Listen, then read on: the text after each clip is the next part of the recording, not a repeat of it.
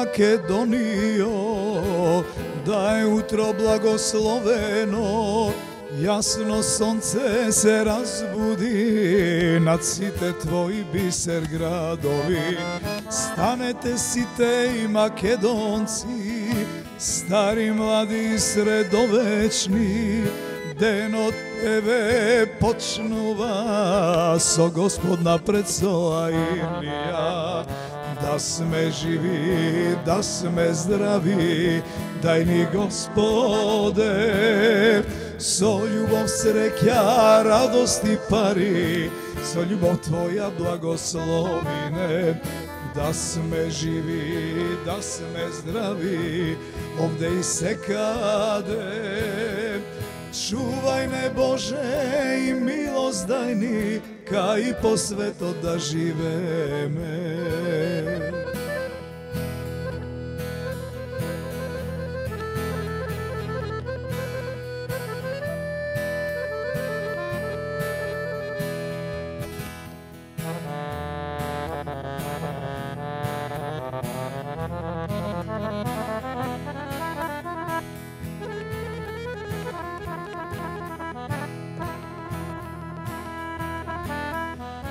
Da sme živi, da sme zdravi, daj ni gospode. So ljubom sreća, radosti pari, so ljubov tvoja blagoslovine. Da sme živi, da sme zdravi, ovde i sekade. Čuvaj me Bože i milost daj ni, i posveto da živeme čuvajne Bože i milost daj mi, kaj posveto da živeme. Прекрасно. Да сме здрави и живи, да сте здрави и живи сите, да се здрави и живи каде и да се во оваа наша прибава Македонија или каде и да се Македонија ни се светот. Мишко Крстевски и така. Дарко Дамевски, добро утро и добро ни дојдовте во Ја сакам Македонија. Добро утро. Добро утро, добро ве најдовме. Многу поздрав до сите гледачи на сите на оваа убава емисија. И се одлучивме баш за оваа песна. Нели добро утро, да Така, за посакаме убав ден. добро утро. И да ги поздравиме сите македонци во Македонија и надвор од Македонија кои што не гледаат, а веќе цел свет гледа македонски телевизии. И така, ќе се дружиме со музика. Така, цел свет гледа, цел свет слуша македонска музика. Мислам дека утрово направивме одличен избор. На некој начин неразделни заедно со Дарко, одлични соработници и одлично ви оди и токму затоа на некој начин ето одлучивме ова утро токму така да се дружиме преку музика, преку песна, преку гитарата и хармониката на Дарко.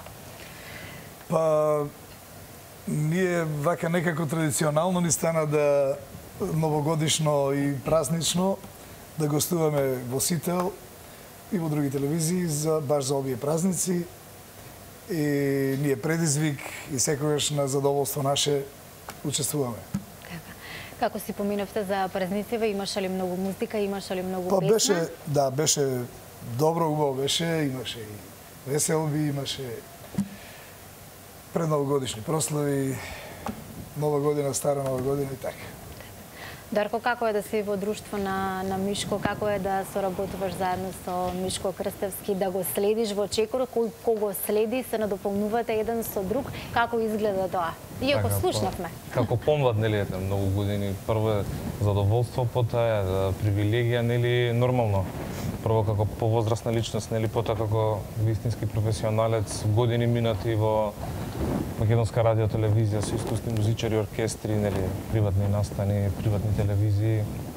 И нормално сето тоа прво ете така. За неа се помлад човек да го да го впие и како што рековте, некогаш и дури ни фали она дружба. Еднаш ако не се видиме во студио, таа таа мирна тишина и заеднички некои мисли од два различни ума, нели? Така се раѓаат некои песни, некои хитови. Дај Боже се да станат хитови, нели, после известен период. Така. Да, сите ќе станат хитови доколку се пеат, доколку се слушаат. Кога веќе ги споменавме, споменавме дека нешто се раѓа, кога се соработува, кога се работи, последно нешто, ако не се лажам, е само ти. Така. Да, тоа беше заедничка композиција изведена на Роса Фест. И вака гледаме дека има доста е, гледана песната, има Так. гледаност, така да убаво е и песната е убава, ќе направиме така да рефрен тука за да се слушне, меѓутоа ќе одиме повеќе во живо, нели? Сега нема Секако да, затоа сме тука. И тоа што кажавте дека дружењето е да речам ете и во студио и со песни, студиски снимање едно друго. Меѓутоа најинтересно е вака во живо. Тука има адреналин, посебно пошто треба и да се избалансира и звукот и емоцијата во живо се се изведува песната така да е, сепак настапите во живо се нај најинтересни. Да, имаат посебна енергија, луѓето сакаат да слушнат кога се пее и кога се свири во живо. Сега Точно така и плюс имаме вака Така. водителка прекрасна која што исто така нели со нас учествува во тоа сето. Тука се цел персонал ваш, колегите, да да, изгледа така камермани, како што режија, поздрав за сите. Така да сето тоа има една, па и вашата а, гостинка, тука готвачка Така, кувар. се се значи, случува во. Сакам Македонија, се Така да се сето тоа, да, прави да биде поинтересно во живо. Така. Мишко, често му доверуваш на Дарко, тој да биде задолжен за музиката и аранжманот. Каква е вашата соработка, колку долго веќе трае? И што ти најде во, Дарко? Значи не случајно. Јас бев на еден концерт на куд Мир, Мирче Ацев во Македонска опера и балет. Има годишен концерт и тогаш прв пат имав прилика да го слушнам пред неколку години. Дарко и е значи навистина феноменален армоникаш од младата генерација кој што многу чисто свири македонски мелос и фолклор и така натаму, што мене тоа многу ми значи, ја исто веројатно ете тој дел беше пресуден за да соработуваме, да се видиме и така еве тоа трае веќе неколку години и се надевам дека уште ќе трае, да има убави песни на наше и на задоволство на Секако на публиката, љубителите на на- љубителите на вашите на обожаватели. народната музика, да. Така, Дарко, што е оно што ти го научи од Мишко? Што е оно што ти пренесе, што е оно што од него Он, сега не знам, во младост има свирена хармоника, нели? И така некој... Во дет- во детство. Во детство, добро, да. и е, некај нормално повеќе искуство, повеќе слушна, повеќе видел од мене.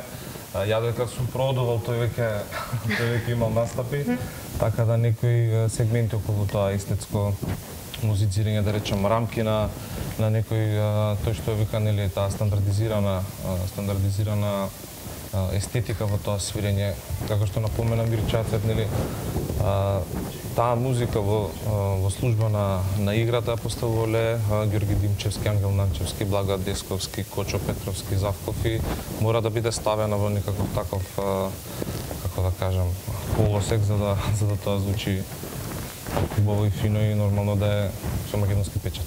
Така. Што е оно што рековме ќе пееме и ќе свириме, што Да. е оно што најчесто го пееме и го свириме, што е оно што по што сте препознатливи, која е онаа песна која што е ваша комбинација, што е оно што нема настап, а, случка или нешто да се случува некаде да настапувате да пеете или кога пробувате или по дома можеби ете кога се дружите, што сигурно велат ајде таа да ја отпеете и отсвирите. Па добро, еве, да речиме, нема така нека одредена песна, меѓутоа, генерално сме, нели, она, влюбеници и го интерпретираме македонскиот фолклор, кој што има безброј песни.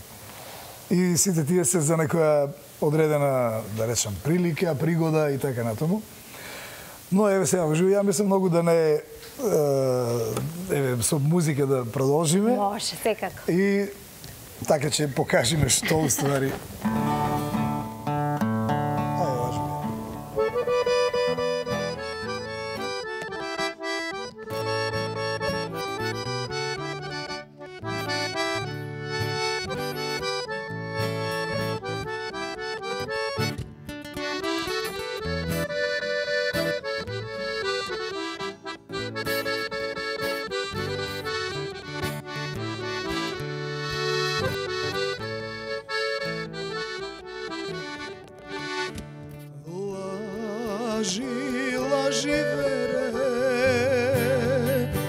Лажи кој ке лажеш Само мене вере Немој да ме лажеш Само мене вере Немој да ме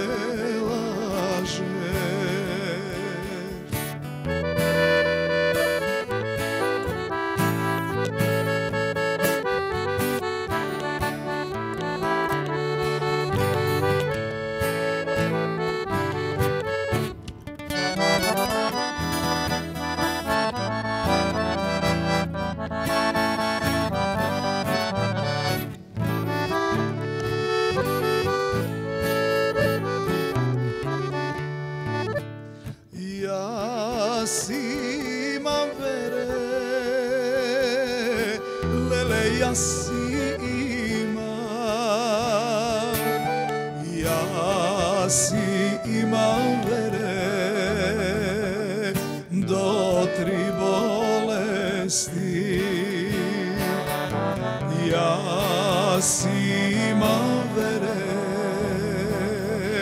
do tri bolesti. Prva bolest vere, lele prva bolest. Prva bolest vere, strumički me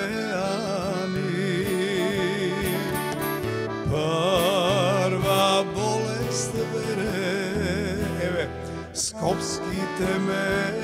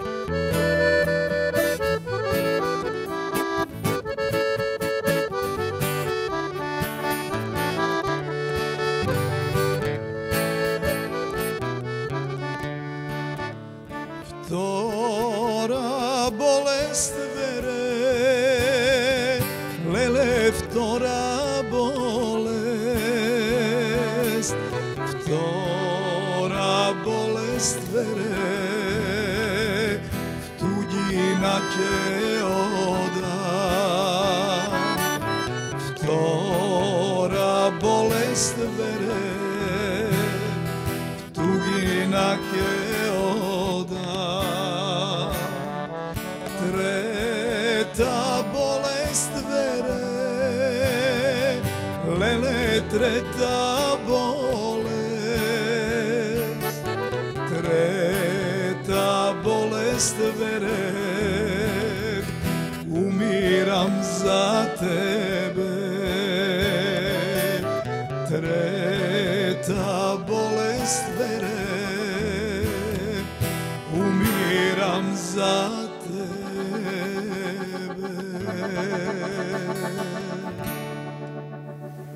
Одлично. Верувам дека нашиот репертуар. Така, верувам дека сите кои што ве слушаат во моментов и ве гледаат, уживаат во она што може да го видат овде во Ја сакам Македонија, заедно со вас. Што е она што кога се занимаваш со музика, еве Мишко, ќе те прашам тебе долги години на македонската музичка сцена, бројни хитови, секогаш препознатлив, дали се пее македонски фолклор, нешто старо, нешто ново, нешто свое, секогаш тука и секогаш препознатлив. Што е оно што може да не одржи додека се занимаваме со музика толку години, толку време да обстоиме. Што е оно што треба да ја го даваме на публиката покрај добрите текстови, добрата музика и аранжман? Што е оно што на вистина не остава да толку години обстоиме на музичкото тло? И покрај многу години обстојување, покрај многу песни, настапи и така натаму, а, не е доволно за човек да се изрази, да се искаже, да... А, значи, нема крај тој уметнички израз и затоа е убаво. И затоа ние, мислам, вистинскиот уметник според мене трае. Затоа што уметноста е нема граници, тоа е бесконечно и секогаш е интересна, еве, да речеме во една прилика еден американец тука во Пантелеймон ме праша, вика а, нели ти е досадно, вика, колку време вика се бавиш со оваа работа? И вика ја имав еден комшија, вика свиреше во некој кантри клуб таму и вика престана, да вика досадно ми е више, не не не свирам. Така да еве оваа песна Лажи вере многу нели стара македонска народна песна. Меѓутоа во секој во секоја прилика кога ја изведувам, ја изведуваме и така натаму, значи тоа е нов момент, тоа е нова ситуација, нови луѓе, нови да речам денови, години и така натаму и сето тоа едноставно е интересно има па затоа се тие бисери што ги нарекуваат нели македонски бисери, песни што останали имале своја вредност и тие траат за секогаш. А еве ние се трудиме, пак се обидуваме да направиме некои бисери што ќе бидат во иднина, што ќе останат и а, тоа ќе каже времето, нели, не може преку ноќ и така. Дарко, може ли да здосади музиката? Може ли да здосади творењето? Од каде ја црпиш ти инспирацијата за постојано и постојано да создаваш нова музика? Па не верувам дека може, а инаку секое слободно време го користам нели да да се одморам ајде така речено од бидејќи физички по поистрпен инструмент за разлика од другите. А, секој одмор кога ќе ми остане некоја луфта време, така пробувам да да се расвирам, да се раздвижам едноставно речено и така некои некои орнаменти, некои некои мостови, нешто ги викаме при свирењето, ќе дадат некоја идеја. А, првично е тоа, па таа ќе се скрои нели во склопете, не знам, Мишко што каже неописливо некојаш на моменти, едноставно тече како како вода буквално, ќе оставите на рамна површина па ќе си најде нели пат. А второ е слушање на на македонска ново компонирана квалитетна музика, да речеме, ајде од типот на Цветници Валандово, 90 тие години за мене се како пример за со оркестрите големи во живот. Така, секој си има својата улога во оркестарот. Пудачката секција, дувачките инструменти, клавишните дувачки инструменти и ред натака да не навлегуваме толку толку стручно, ама едноставно се пример хитови како Запри виолино и а, редица такви други да не ги набрувам. Ке речам пак нели композитори како Лупчо Трековски, Фис, Миле Барбаровски, сето тоа е ризница за да да даде некоја да, да, кои да, што да оставиле да свој белек, да, да, да, Едноставно како лајт мотив некако па Исфилување како еден вид торта. Денес ќе виде. Бела, утре ќе имаш лаки. Така, се така оставило богато наследство, да, едно цврсто тло за да може и новите, идните, младите генерации да творат.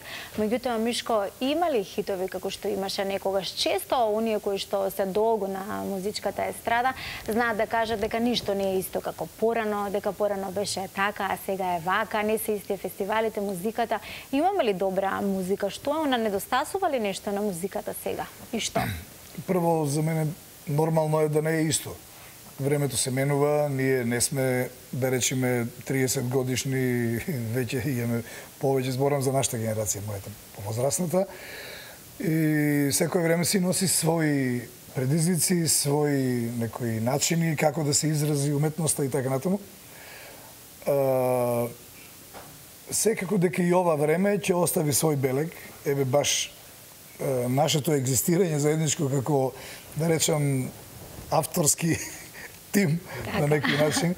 А, значи, и многу други кои што постојат, екзистираат и творат музика, дека тоа ќе остави белек денеска, ние тоа го правиме, значи во ова време за некои идни времења, така да, еве, тоа музицирање кое што и ова што сме тука не е случајно, затоа што ние работиме, има и покрај короната, значи, еве сега малку, нели, намали едно така, друго, со сите тие протоколи, меѓутоа пак има музика во живо се изведува, така да не, не е проблем, ја знам дека не е како што беше, меѓутоа единствен проблем е тоа што не постојат оркестрите во Македонска радио телевизија, што мислам дека треба да постојат, тоа е многу голем хендикеп, да речем, за македонската продукција, за продукцијата на македонска музика, единствено да речам во фолклорот можам да го поздравам постоењето на танец и на сите други танец како професионално културно-мечко друштво, а сите други како кои постојат, екзистираат и ја шират македонската, значи македонскиот бит, македонскиот фолклор секаде низ светот и во Македонија, ја пренесуваат на генерации. Ми е многу драго што има многу млади генерации дечиња кои што се запишуваат на тој фолклор и го продолжуваат. Така да тоа е тоа. Ја продолжувате и вие заеднички, да ја продолжиме и тука, што би било следно кога идве? Следно, еве ја морам да кажам дека а, нешто у последно време се занимавам и со еве чиста енергија, да речеме, нели, со соларната енергија и еве во оваа прилика да ги поздравам пријателите во Камел Солар, кој што ете една песна специјално за нив, Севдалино Малој Моме.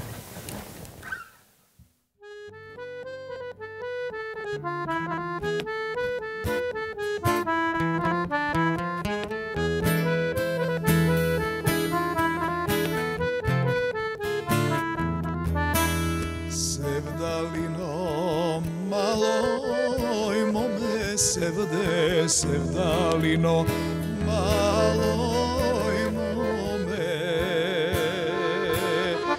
што си ме се вадисало, ак што си ме се вади.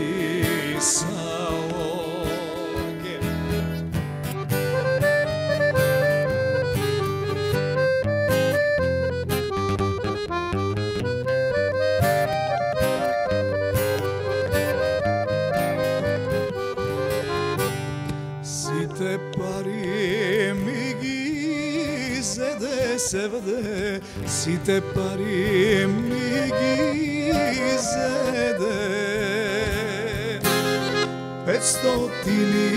kara groša Tri ljadi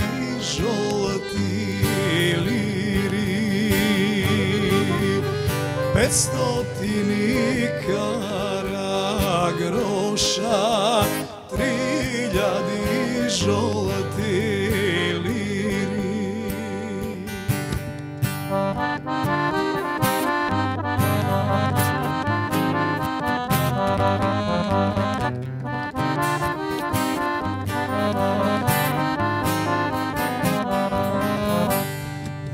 Ај бар малку од парите се веде, дај ми малку од парите. Да си купам кондорија, да не одам пеш во село, да си купам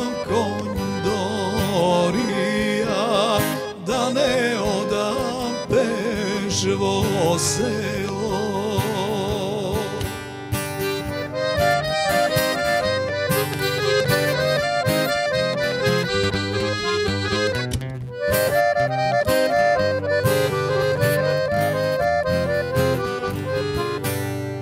Да не одам пеш во село севде, да не одам пеш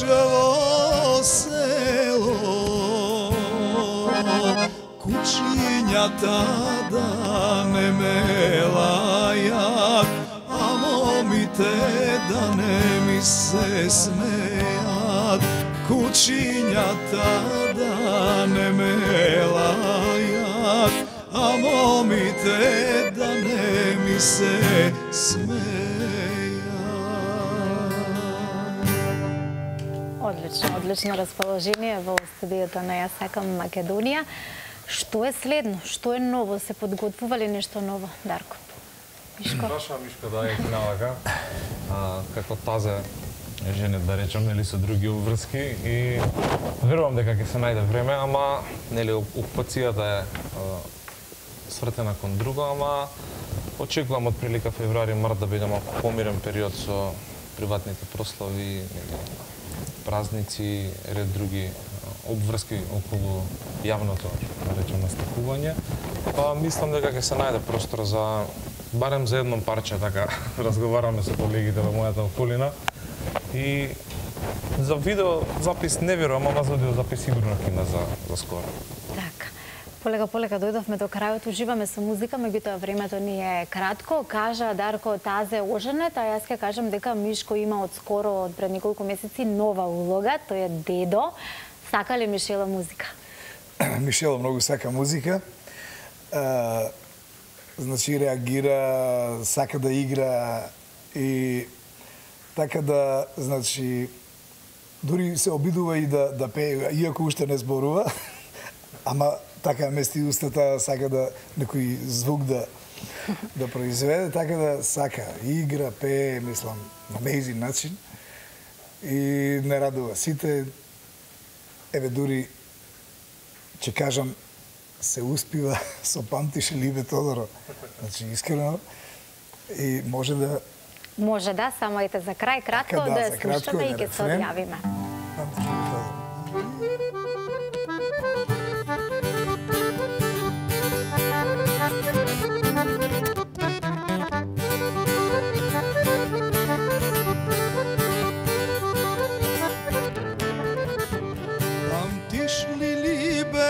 Teodoro Galabe, pamtiš li libe Todoro?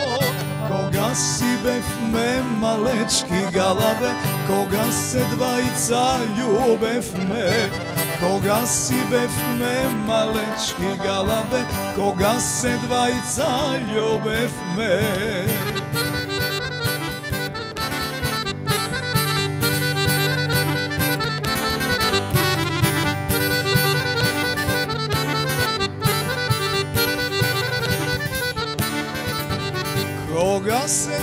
dvajca ljubev me galave Koga se dvajca ljubev me.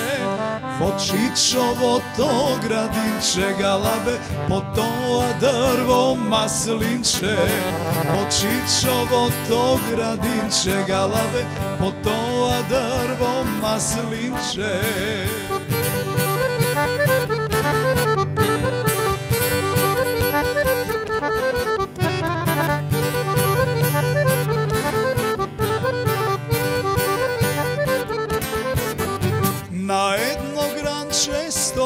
Megalabe, na jedno granče stojefme Višničere šmijadefme galabe loša si kletva zedofme mi, jadef galabe loša si kletva zedofme